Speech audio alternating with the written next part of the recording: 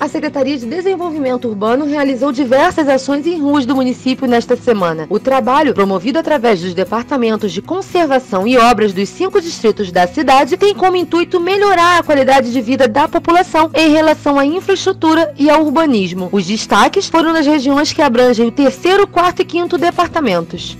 Cerca de meia tonelada de lixo eletrônico foi recolhida durante a ação E Lixo Zero, promovida na última semana no Alcântara. A iniciativa foi organizada pela Secretaria Municipal de Meio Ambiente em parceria com a empresa Recicla Ambiental. O material recolhido foi encaminhado para reciclagem e reaproveitamento, sendo destinado a ONGs, escolas e projetos voltados para esta área.